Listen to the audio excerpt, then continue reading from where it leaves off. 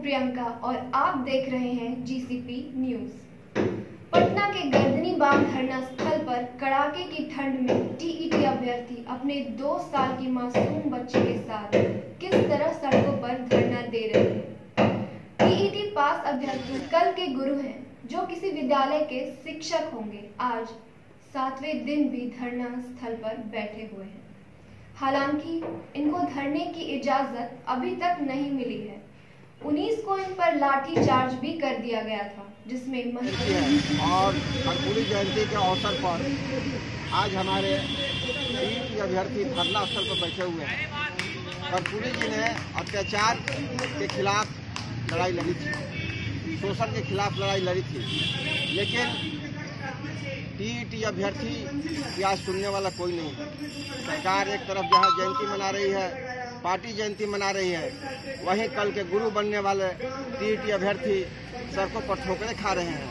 आइए पूछते हैं, आज इनका आंदोलन का अठारह से शुरू है और आंदोलन का आज चौथा, पांचवा दिन है। आगे की इनकी क्या रणनीति रहेगी? सर, आज सातवां दिन हो गया। सातवां आठवां दिन हमारा आंदोलन हम लोग यहीं पे बने हुए हैं। ठंड का मौसम तो आप देख ही रहे हैं ठंड का हाल देख ही रहे हैं। कुछ ठंड में बिना खुले आसमान के अभ्यर्थी सो रहे हैं, जहाँ का उनका जैसे हो रहा है अपना गुजारा कर रहे हैं, खाने का सामान टेंट वेंट सबको उजाड़ दिया गया।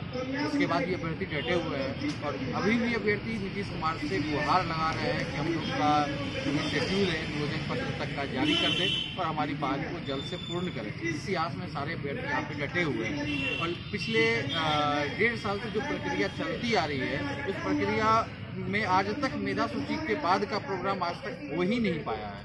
इसके चलते अभ्यर्थी बहुत निराश हो चुके हैं और तब जाकर ये गर्दनी बाग करना शिक्षा मंत्री से कोई बात की शिक्षा मंत्री या कोई भी ऐसा विभागीय बातचीत हम लोगों से अभी तक हुई नहीं। कोई की कोई किसी से अभी तक कोई भी अधिकारी इस मैटर पर बोलने को ही तैयार नहीं है। मैंने एक न्यूज़ के माध्यम से देखा कि शिक्षा मंत्री या हमारे माननीय मुख्यमंत्री भी इस मैटर पर बोलने से अ, करके वो बोले कि ये मैटर जो है अभी बातचीत करने का मैटर ही नहीं है। जब है हम लोग सर ऐसे ही जब बैठे रहेंगे धरना स्थल पे बैठे रहेंगे जब तक कि हम लोग का जो है शेड्यूल जारी नहीं हो जाता कैंप के माध्यम ओपन कैंप के माध्यम से हम लोग बहाली की मांग कर रहे हैं जब तक वो लेटर जारी नहीं हो जाता तब तक नहीं बैठे। धरने के लिए अनुमति है? हाँ सर अनुमति है हम लोग और अनुमति नहीं भी रहेगा तो हम रोड पर लाठी खाएँगे लेकिन रहेंगे जाएँगे विपक्ष के नेता तेजस्वी यादव ने इनकी सुनी और वो चले आए इनके धरने स्थल पर। दस लाख रोज़गार देने का वादा किया था, लेकिन सरकार नहीं बनी, लेकिन शायद इनको रोज़गार दिला सकते हैं, ऐसा लग रहा है। यदि लालू यादव की तबीयत नहीं खराब होती तो ये आंदोलन कोई बड़ा रूप ले सकता था। और टीटी अभ्यर्थियों को विश्वास है कि सत्ता पक्ष नहीं, विपक्ष के सहारे ही इस नौकरी को हम प्राप्त कर लेंगे। कैमरामैन मनीष के साथ मनोज सिंह की विशेष रिपोर्ट। पढ़ने के बाद पढ़ाई करने के बाद पढ़ाई के दौरान हमने जो कष्ट किया किया है। खिचड़ी बनाकर खाया। और तीसरा ध्यान भी देना खिचड़ी जल गई कि बची है। आलू महकने लगता था, उसमें का गंध जब समझ में तो गहरी तो जलने लगा।